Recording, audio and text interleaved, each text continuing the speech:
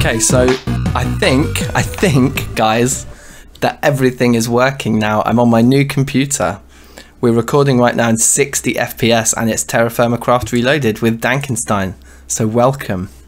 Welcome to the next stage in technological advancements for DankNStein. And this computer's really beastly and I guess Minecraft isn't the game to show it, but you're going to see it when I play like other games down the line. Okay, so this is episode number 59. Episode number 59. It feels smoother. Like, I don't know, is it smoother? It feels smoother. It feels like we're getting more frames even just in the gameplay, to be honest. I never play with a with a frame counter, so I don't actually know. But yeah, this does look does look smooth. Should we take should we just finish this project? Should we start this episode by finishing the digging of this hole? Let's do it. Let's do it. So big plans for this episode though, because now that we are with a uh, computer that can handle it, uh, of course, what we're going to do is try and push that to its limits. So I thought it might be nice to see if we could have a little explore in our world today with some shaders. So we're going to try that at the end of the episode. I'm going to get my work done first before I break everything with shaders. Probably want to mess around with our dimensional transceivers, and we did some work on that on the stream last uh, last week and we're in a position now where I think we can kind of start to make things happen. Um, so after we've done this little task, that's kind of the main thing we're going to do. Um, uh, there's also some stuff to do with chicken that I would like to maybe start today. So actually, there's quite a lot, quite a lot of things on our plate. So let's see, let's see how much of it we get through. Um, but for now, let's uh, drop a beat and just finish this off. Huh.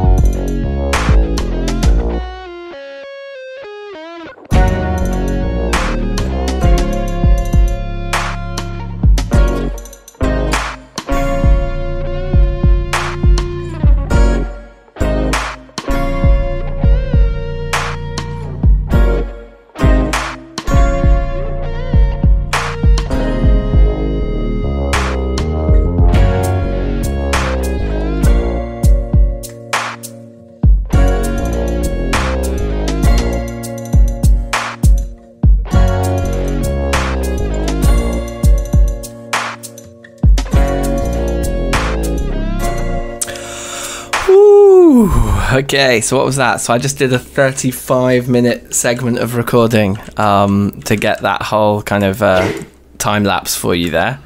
And this is the first test I wanted to put this new computer through. So you you like you know we're recording in 60 FPS now.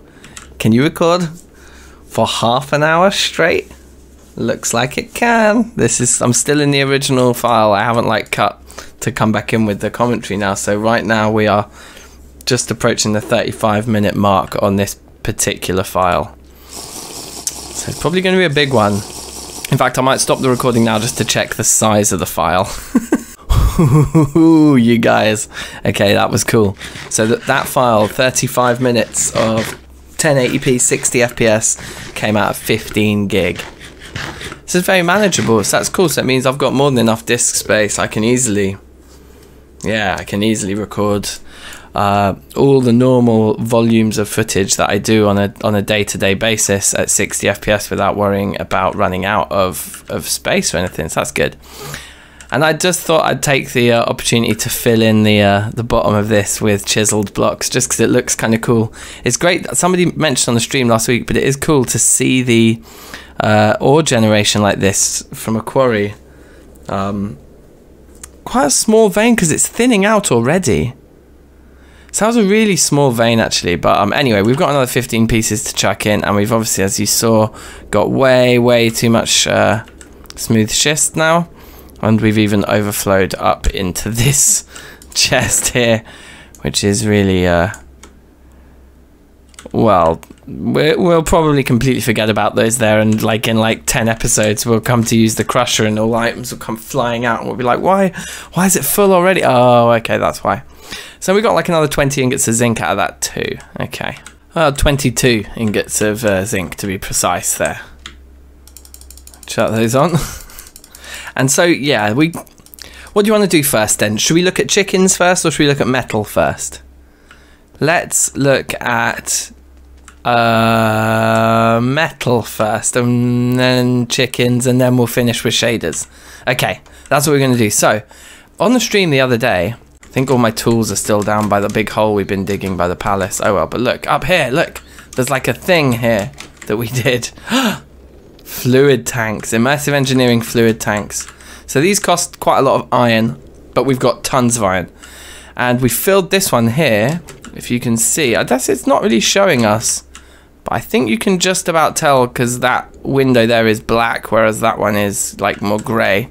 That this tank is empty, and this tank here is full of crude oil. Of the main oil, of this stuff. It's totally full. And I think everything we have left. Yeah. Yeah, everything we have left is in that is in those two those two open blocks tanks above, which I don't know if they'll automatically empty in or not, but they're they're there for safekeeping anyway. And it does look kind of cool.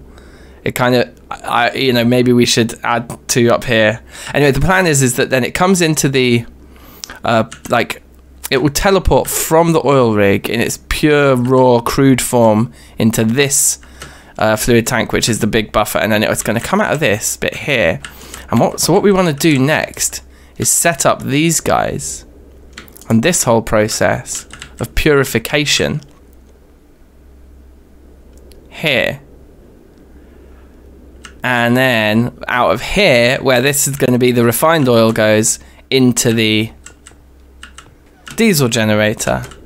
And then the power comes out of the top of the diesel generator into our dimensional transceiver. Okay, one or the other of them. so there's going to be one dimensional transceiver up here that the power is going to be going into. But also coming out of that dimensional transceiver is going to be the oil that goes into here. So yeah, there's a, there's a little bit of work to do up here and working out how all this stuff fits together. But that's the plan.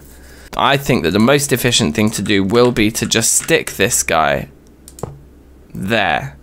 And it is indeed powered right now. The other two, the other two aren't, I don't think. Oh, they are. And look, they just consume... Okay, so this one hasn't yet been hooked up. Wait, what is going on? Okay, it seems like none of them are hooked up. But they just have power left over in them, these two, from, from the stream the other day. So we can hook them all up to one another. But as you can see, they do cost power just simply to have running. So there's also some, probably some need for us to have some sort of override switch. So that they're only on when they need to be. Active with signal. There we go. Right, okay, so we want our transceivers set to active with signal so that we can have a switch that we pull that switches them on when we need them. And then when we switch them off, they don't waste power. That's That feels like a big element, a big like part of the whole puzzle here, right? Both like that. Think that's okay. And we just need cabling that will come out of there into those two, and then some cabling that will come out of those and up and into the top of this guy. Always. And there we go, those fill up fine. Those are just inserts. So that's the first bit done. These need powering. Yeah, okay. But this thing isn't switched on right now. Or doesn't have any power or something. Both, probably. Are we gonna literally just have enough? I think like we we literally just have enough. Always active, yeah. So that should now work. If we started powering this, I think it would work. And so then it's just a case of we need more fluid conduits actually, so we can come out of here and into there, don't we? Or indeed out of here and rounding into there. If I've remembered all this correct, there we go. Eight more fluid conduits I think will will be enough. Right, and so you see all this jumping up here we're doing. I think a quality of life improvement here would no doubt be a elevator, wouldn't it? Oh god damn. Yeah, okay, so somewhere like there would be a good spot to put some of those open blocks elevators at some point to avoid us having to climb this thing twice. It just thinks every little part of it's a machine, doesn't it? But it's not. So I think, like, if we were to give the whole system a kick, and what I mean by that is like we need to we need to start the thing, which I think means we need to bring one of our spare power cells up here. In fact, there it is. Look, because if we were to power these, I think then the whole thing will start. So those are going. And now this is. And the fuel should be, I would imagine, just coming right out of both of these, straight into there and straight through. And it and this thing's now burning burning that fuel. Yeah? Those aren't emptying. Automatically at least. We pick these up. There we go, right, so when we're holding something we can see what's in there. So you can see it is burning through that oil right now. And I, I think now we should in fact, look, this is not being used anymore. It just, it, it was like a jump start. and once it got those going, as we know, um, this guy can certainly fuel those plus an ore excavator, absolutely no problem. But if we were to switch that off then, well, it gets quieter in here. Those no longer have power. If we were to give them power, they would, they should start filling up this, no? But I think this probably has a buffer in it, which is probably now filling. And once it gets full, I'm hoping I start to see see the stuff appear in this tank, no? Okay, so maybe the uh, maybe this guy doesn't or maybe it has a buffer but it will just keep wasting the fuel. So if we say that should can only be active with signal, this immediately starts filling up. I mean maybe that's actually where the hmm. This is interesting. Okay, rather interestingly, I've just read that we can mirror the generator by clicking the by using the engineer's hammer. I think probably here. There we go. That just mirrored it didn't it everything else stayed in the same place sorry it's gotten dark again okay yeah so look everything else has stayed in the same place except that now our lever is over here so far this all seems good and this seems to be working and if we were to put the dimensional transceiver there. I'm sure it would suck lots of lovely juicy power out of the system while switched on. But I guess we do want to leave this running off of capacitor power anyway, just so that we can fill our buffer. We do want these buffers filled, otherwise if stuff's just passing through them every time we switch it off, it all pauses. We actually don't have the buffer to kickstart it with, and we'll always need something like this. We also got to bear in mind that the items we're going to pipe back will come out here.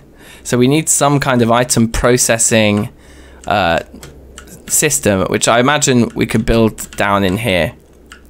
You know, some kind of uh, big item filtering type thing. I guess the easiest way to do that is probably just with Ender.io conduits, isn't it? And put the filters in there. I don't know.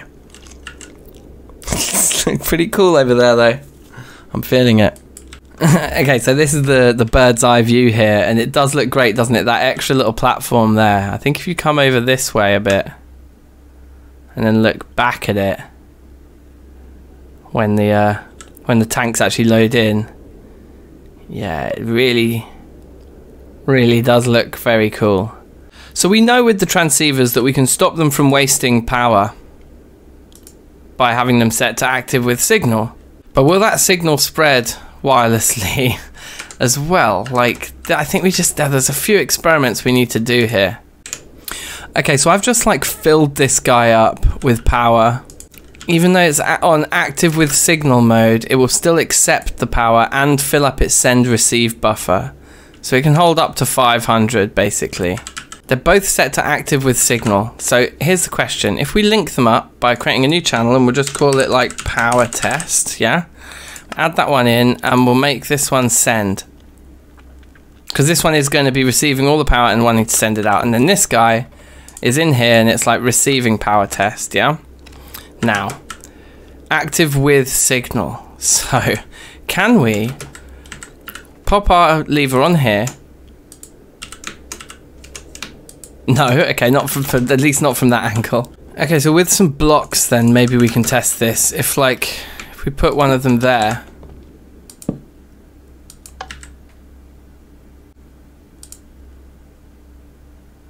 Okay, it's like centered all over. It's not filling up the send receive buffer any further because it feels like because this one doesn't have signal. If we were to go like this then, just to confirm my theory, now it starts filling up its buffer. No, it's not filling it up, it's removing it from there. Unfortunately, confirmed something I was a little bit afraid of, which is that we can't wirelessly disable these guys, can we? That's one experiment anyway. I mean, we've certainly done a good amount of, of sort of setting up here. I'm going to leave this running. I don't mind if this capacitor bank empties in order to fill our buffers here.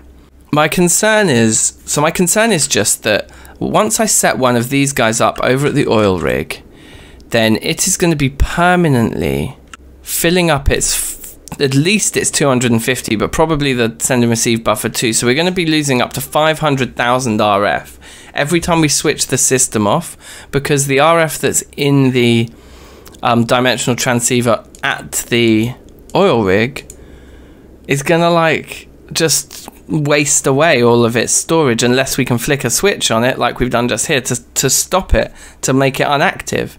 But to do that, we have to go there, which defeats the, the wirelessness of it. okay, so that's my conundrum here. I think it's a reasonable conundrum. Um, and I think maybe we'll talk about it on stream tomorrow because this episode's running quite long already because I'm just excitable. And we've still got two more things to do.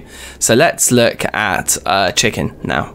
So, I don't think I've shown this yet this episode, but on the stream last week, we also built ourselves a chicken coop here. And we actually found quite a lot of animals uh, last time, as you know. But chickens were still on the agenda, and we found some chickens, so we brought them home. And I think the coop's looking alright. It kind of fits the style of the local area while still being quite chicken coopy. It's kind of got a nice curved sort of, yeah, shape to it. I, I quite like what we've done here with this design, and obviously this feels very authentic. And see if we can get in and out without anyone escaping. We can. So we've got a rooster. And we've got two hens. Fertilized egg in there. A fertilized egg in there. Can we just eat that straight out of the... That's a bit, that's a bit savage, isn't it? Oh, now we've removed it, it is not going to be a chick anymore. It's just an egg. But we can't eat it as it is. We can't eat it raw. So maybe I shouldn't have removed that one. So that's what's happening here. So we're not going to worry too much about this now until we just have more chickens, right? What we do want to do is we basically we want to have a fried chicken shop because I love me some fried chicken. And over here, oh yeah, look, we put creeper heads on the on the entrance to the pub. Nice. Over here is where we're going to start to develop more of the town, right? We just go up here like this. We're going to get a much better view of what's occurring. So if you think we've got the farm down there and the path looks amazing actually from up up up top. And if you've got a pub there, then the barn and the farm farmland starts there. We've got this kind of music concert venue which we're going to build around. We're going to turn this maybe into like a sort of theatre kind of chapel type build, some sort of yeah, some sort of live performance type venue there, arts centre, a community centre. But in here, we're going to have this kind of town centre. Then the path's going to come through past the pub, town centre, and a few other buildings here. One of which I want to be a fried chicken shop. And I think it was Rachel who came up with the legendary idea on the stream to call the chicken shop TFC but to have the logo kind of look like a KFC logo, right? Um, and I think I'm going to go one further. I think on the stream, then we said we'd we'd we'd call it TFCFC, Terra Firma Craft Fried Chicken, TFCFC in a nice KFC style logo. So. So that's what I want to do today is start to just decide where that building goes and uh, and what we're going to put you know, on the front for its logo. So we got like DankNSteins like that, or Drankensteins. So we'll do a similar thing, I suppose. We'll need a red background and we'll need some white blocks on top. White blocks that we can chisel. So first thing that's sprung to mind as absolutely was quartz. It's probably still defined as like a stone type, isn't it? I don't know. Uh, no, we can't. We can't chisel the quartz blocks. Okay. You know what? Something smooth, like smooth marble or something. Yeah, that one. The marble's got a little bit more red. That's a little bit grayer. The marble's a bit brighter, but it's a bit red. I'm sure 10 blocks would be more than enough. And then we would need a red background. And there was one thing that sprung to mind straight away for a red background. And that was what we used to make our beacon blocks out of. Oh, they're not ideal though, these guys. We were going to probably eventually turn all these into blocks anyway. In fact, we certainly were for our next beacon, so it doesn't matter that much to do that now. Problem is, it's not solid red, is it? Okay, so we have these red anti-blocks from the chisel mod. I don't know where they come from. Oh, okay, like glowstone or something. But, but like, they seem to have a border on them. I guess we could check. If they don't have a border, then they're probably perfect. Ah. They do do what we want them to do. Okay, we might need... We might need many more of these than we thought. I think we're going to abandon those in that case. Okay, I think what we should be doing is putting this into lime water to make the paint because it's more efficient, but to save us time right now, let's just do this. And then we just need to pick a spot for it down here. So I do think, I think we're right to say that we'll have some kind of a town centre. So I think it wouldn't be weird. I think probably a good spot for it is next to the barn facing the other direction. Yeah, this is where the KFC will go. or the, I should, I, let's let's abandon the uh, the brand name now. Let's use our own brand. This is where the TFCFC is going to go. And it's kind of gonna probably not come back quite this far. We'll just do a rough footprint of it now out of logs because I've got them on me. Okay, I'm going to move it one higher and one more to the left to really lean into it not being centered. Because if I imagine these chicken shops in my head, they often are like that. They've got a big logo on one side and then the door and maybe like an irregular shape to the front as well. Okay, yeah, so look, so I stared at this for a while and decided that I should just actually do a design in some art software, which is what I did. And I worked out that I need a bit more room. Basically, if we're going to go too high with it, which I think we want to have the letters be nice and big, then for TFCFC we need more length. Like, or, you know, or we make it all shorter, but then I just think that's not going to be as impressive. So we're going to make another batch um, of this stuff. We only need to use six of them, I've calculated, not all eight.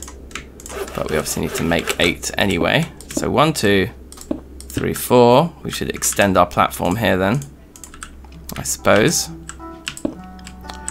we can get the final few on here.